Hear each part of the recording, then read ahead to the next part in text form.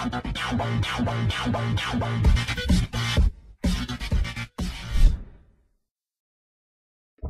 a peaceful Minecraft community, one war veteran wakes up only to find there's an alien invasion.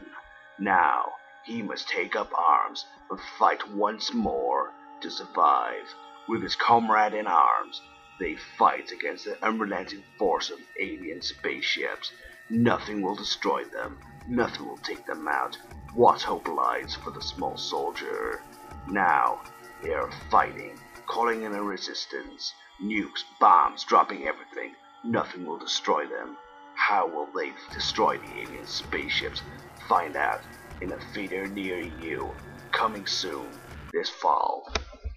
Come with me if you want to live.